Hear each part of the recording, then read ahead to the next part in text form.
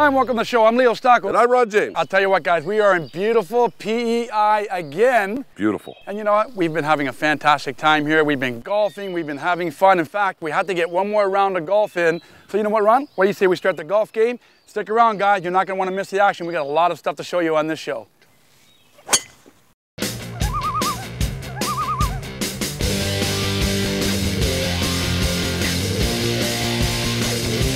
Toyota presents Fish TV in high definition.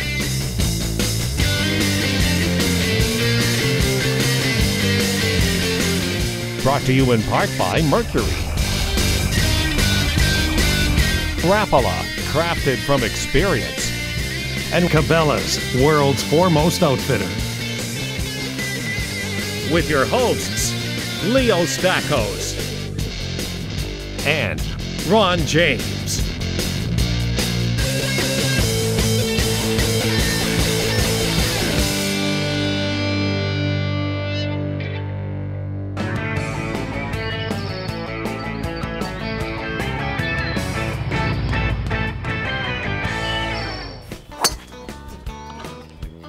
That'll work, buddy. Yeah, that's all right. You know what? I got to tell you, folks, I could golf this course all day long. The Rodd Mill River here is an absolutely beautifully cultivated course. In fact, while we're going out to get our balls, check out some of the shots of this golf course. It's absolutely breathtaking. No, it is really nice. All right, let's go get our balls. Everything, look at it.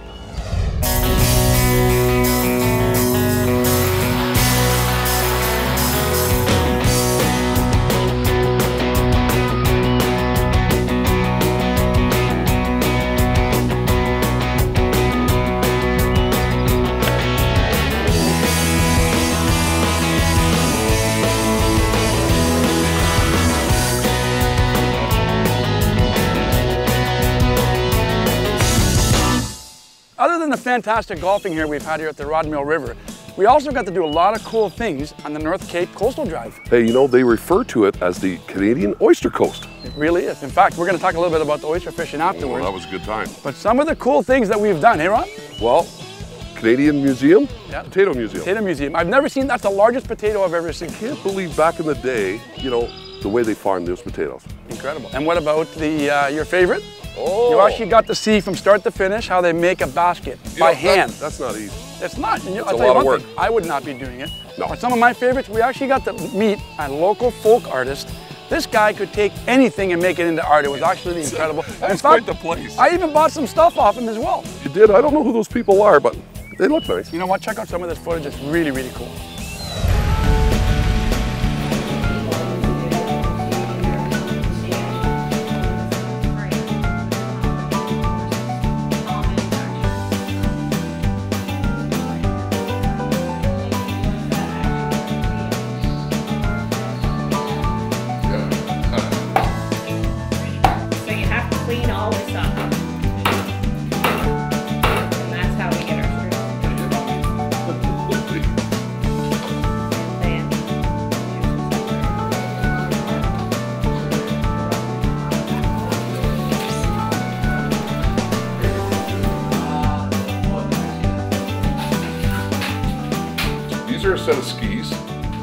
Tennis racket.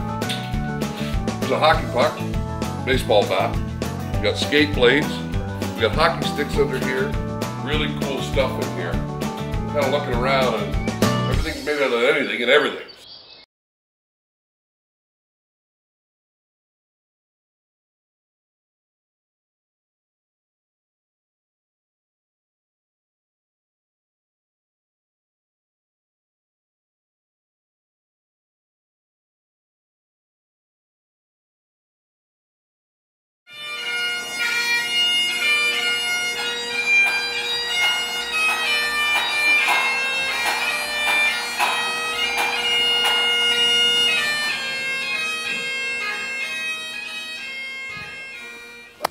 Nice shot, bud. Right over the water. I'm glad I'm not in the water. Well, I'll tell you what, speaking of water, I've got a new appreciation for oysters. yeah, you know what? That uh, Gordon, I sat back and watched the interview that you did with him. That guy really knows his stuff here. In fact, I got to see the process from start to finish, which is actually a three-year process. But you know what?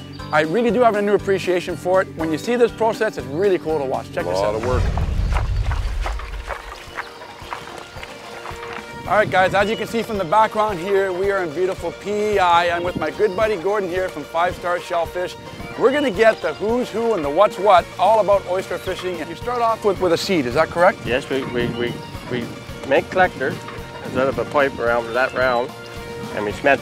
Okay. And then we put them on a line. A certain time of year when the, when the larva's high, they spat the oyster.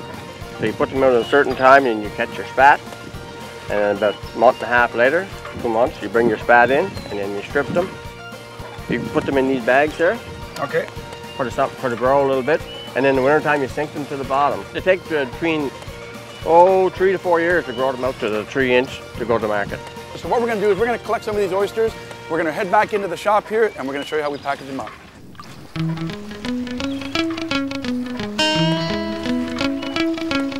Step on this, step on this, we're good. Okay, so in the wintertime it actually freezes here. You still harvest them in the wintertime? Yes, we still we still harvest them. We cut we cut strips of ice with a, with a power saw. Okay. Take the first first strip of ice out in blocks, and then the rest of them we just cut long strips and we push them over. Really? Then we fish them with tongs. And, and the, uh, the freezing does not affect the oysters? No, but you don't touch the oyster when you bring it in. If the temperature hits a certain temperature, it, it shuts up and don't open the feed anymore. Wow.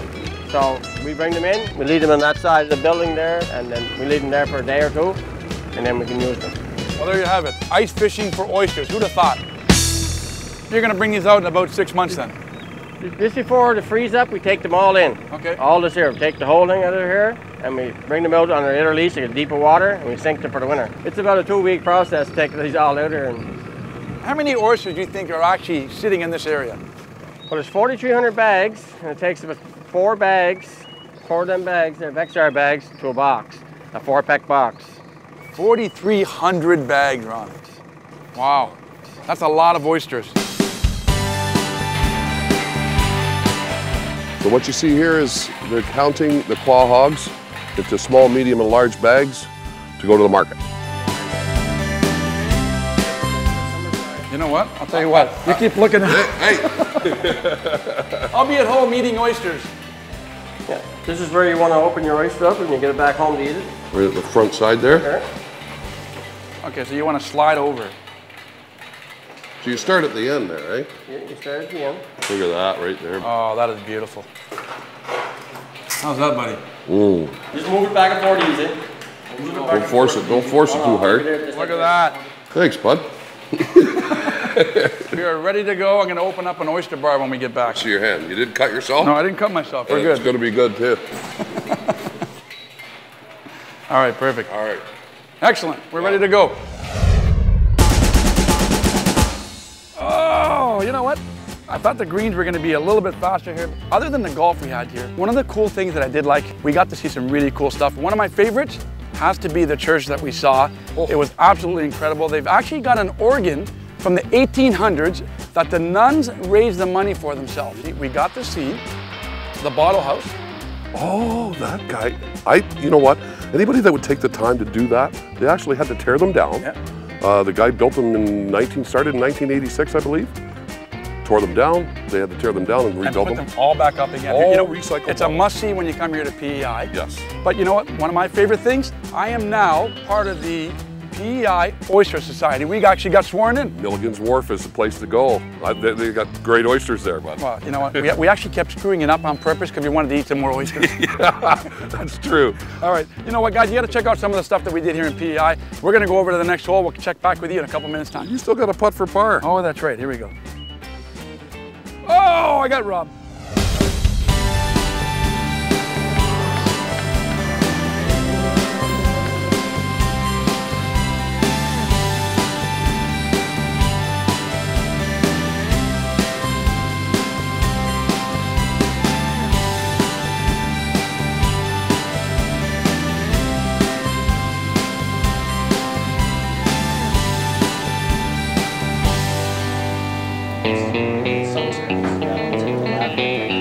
Okay, Ron, here we go. We are about to get inducted Wow, look at this. in the Prince Edward Island Oyster Society.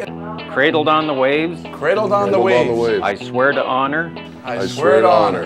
on this borrowed day, On this borrowed day, the PEI Oyster Society the PEI PEI Oyster Oyster Society. Society by the grace of the salty kiss. By the grace of the salty kiss. And there we go. I'm about to be inducted right now. Guess what? I'm gonna put a little bit of Tabasco. Wow. They're good, eh? First time with Tabasco. You're gonna. Wow. and my last time with Tabasco. All right. Now that I can't breathe and we're inducted into the society, we're gonna keep things moving. We'll be right back with some more fish TV after I get him a drink. Okay, we're good.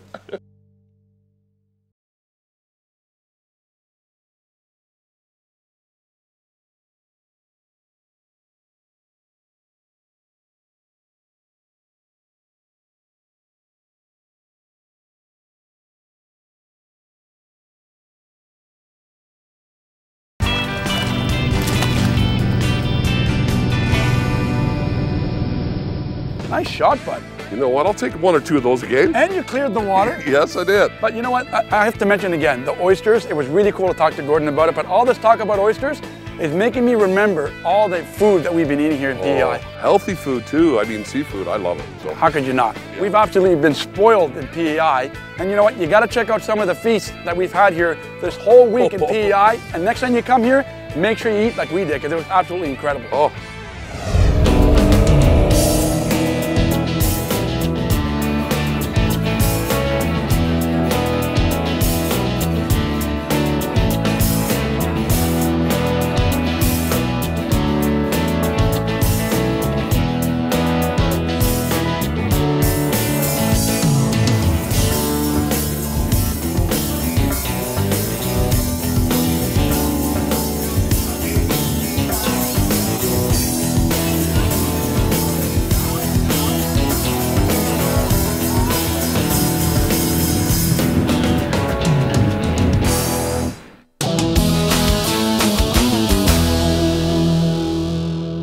folks, Leo Stackos here with the tip of the week. You know what? Have you ever remembered back as a kid the smell of that fresh charcoal that was just brewing and getting ready to barbecue? Well, you know what? In a couple minutes with my trusty assistant Alex over here, I'm going to be talking about a few features and benefits of the latest and greatest Coleman barbecue that gives you the best of both worlds, propane versatility and charcoal for that great flavor. There's a lot of cool features here. Some of the ones which I want to point out. Number one, starts just like that. The new Insta Start ignition, one button push, flame comes on.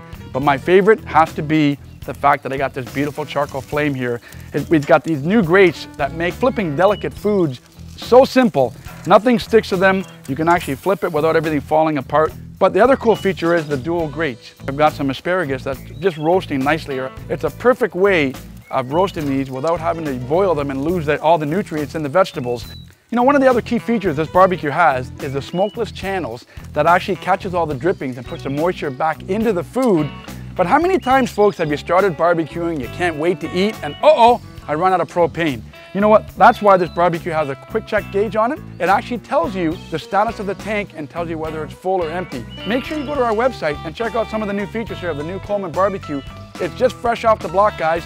It gives you the best of both worlds, that beautiful flavor of charcoal and the versatility of propane. Check it out on our website, fishtv.tv. nice. There we go, buddy. Sailing away. That is a drive and a half right there. You know what? It really was. But you know, I'm really glad we got to experience some different things here while we were in the island from the last show. You know what I like? I like watching you guys in that Segway. That's pretty cool, eh? Hey, I was good at it, wasn't I? You know, it takes a talent to do that, believe it, really or not. does. But you know what? You had a different talent, actually. Oh, you know, I loved the horse racing. The Yeah, horse you had a racing was my taking highlight. ten dollars off me. Two races in a row. I could pick those horses. It kind of runs in the family.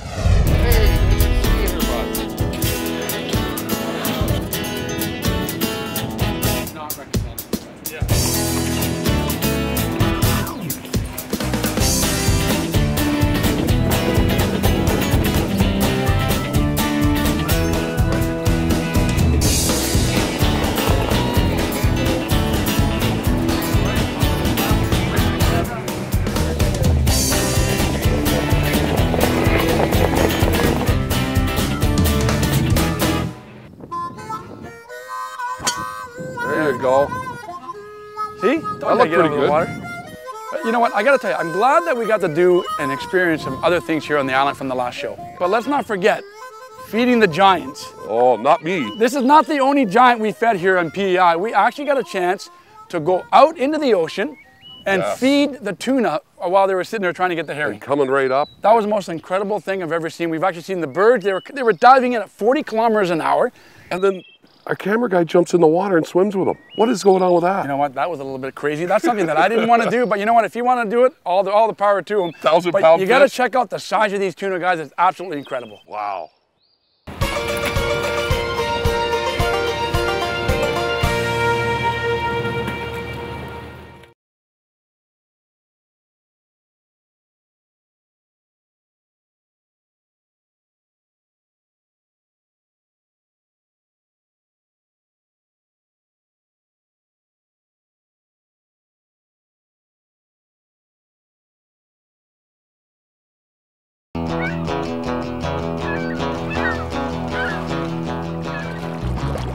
As you can see, all these birds, they're chasing balls of herring. They're coming up to the surface and they're literally diving down and it looks like they're hitting the water about 60, 70 miles an hour. It's just ridiculous. All right, so the hunt continues here, guys. We've got Paul out here in the binoculars.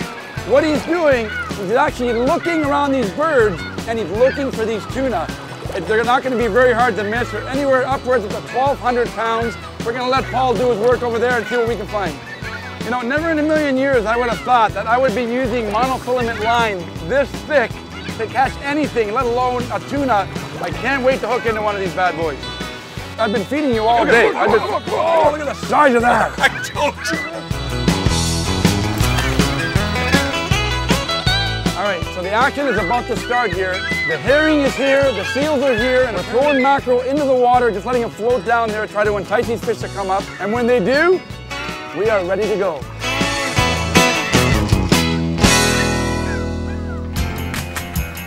It's time for MotorGuide Tackle Box. So here's a look at the circle hook. This is a number 12. How, how small would you go to? You can go. You can go down to number eights, number tens. So you've got a 400 pound mono as a leader and your main line's what, 250? 250, yeah, 250 header, yeah. 250 And then the, the. Dacron down further is 180. And 180. Yeah. We want that circle hook in the corner, okay? Because after a while, when we cut him, when we get him up alongside, if it's here, he's gonna live, Yes. okay? That's what That's we want. we want it. So we want him to swallow it down. We'll let him swim around maybe for 20 seconds. I'll jam her up to 50 pounds and I'll pull it right to here. Let's go feed some. Let's go feed some. We can find them. I'm into that. We can find those birds again. We got a chance, all right? All right. Okay. Beautiful. All right. All right, here we go, Ron. Here we go. Got it. He's got him. Let go, Ron. Let go. I let go. I let go, man. I let go. That didn't take long at all. It is on, oh, guys. It is on. now, he starts the boat. Try to get that hook set in the side of the boat. That circle hook is only going to catch the outside. Hold on, folks. We're going for a boat ride. Look at the drag. Look at the drag coming. we got him hooked up. Look at this reel. Okay, this thing's got to be at least five, six hundred pounds, Ron. Oh, I bet you it's bigger than that, bud. All right, Ryan, I'll take the first shift. You take the second. All right, buddy. Let's do it. Actually, there might be five or six shifts. I think so. Okay. Careful now, bud. You gotta watch when he takes off. Crank him in there. Get him a little ways in here. We only got an hour and a half to go. The last time we were in Prince Edward Island, you they had a quota on the tuna. So whoever brought one in, I mean, one one fisherman can bring in as many as they wanted, but once they reached the quota along the shoreline, that was it. So some of the fishermen didn't get any. Now you're allowed one tuna. That's it. So these guys wait till they get down here off the coast and they come down and they fatten up. These fish just came 2,000 miles just to eat here near PEI. And I'll tell you what, when they come down, they're starving. And what they do is they make their way around the coastline and head back to down to the Gulf. They're here to eat, as you can tell. I'm tired already. It took about uh, 13 seconds to hook into the fish. And it's gonna take us about two hours to get it in. And I think, Ron, I think what's gonna happen is I'm gonna give you the old high five and you're up. Woo! The thing to do is to watch this because if he rips out, there goes my hand. Saw you grip like that. You're a big, strong boy, but I think you're even stronger like that. Oh no, you don't. I gotta tell you, Ron, Oh, when no, they you said don't, buddy. that there was good fishing here in Tignish, Oh, we had no idea here. You know, we knew we were gonna be feeding the giants here, but the fact that you can actually come to Tignish, meet the people, have some great seafood, and hook into one is absolutely incredible. You gotta check it out here, guys. Chat, watch the swivel, Joe. Don't crank it in the pole. Don't crank- oh, that's fair enough, fair enough, fair enough. Yeah, let him go down under. Paul, grab the line. There he is. He's down there. You can see him. Look at that. Oh, he's not caught by much, guys. Look at Look at this. Now that is a tuna. Barely hooked there. Barely hooked. Look at the size of it. Oh, how, how much do you think he weighs? Oh, he's 800.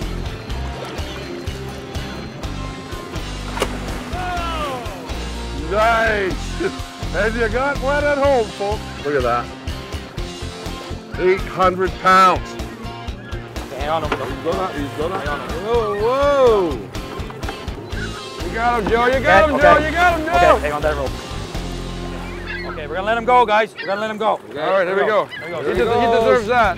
And there she goes, buddy. 800 pounds, good job. Holy man. Our first tuna here in Tignish. Yeah. Over 800 pounds. Now the celebration begins here. And believe it or not, they actually have a great bar that we're going to be going to afterwards. Good job, Captain. All right. Oh, yeah, Not Captain. That took about 13 seconds. Come closer. Don't. We're drifting. Piece of bait right there. Nick, come this way.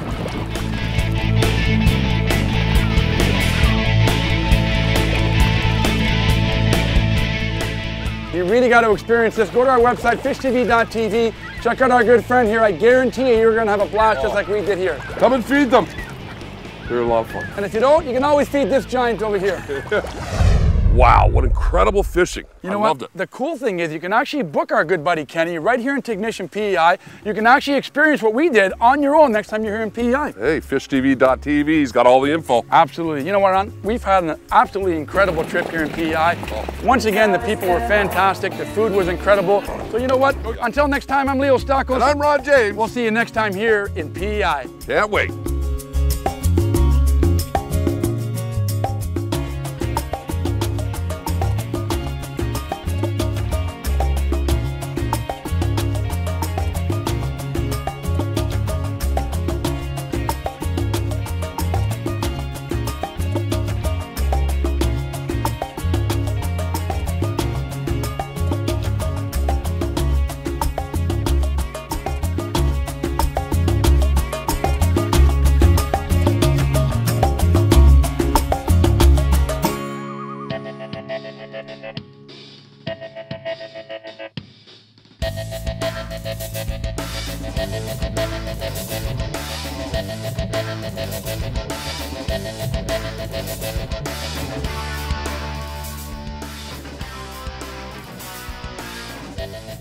Portions of Fish TV are brought to you in part by Lund, the ultimate fishing experience.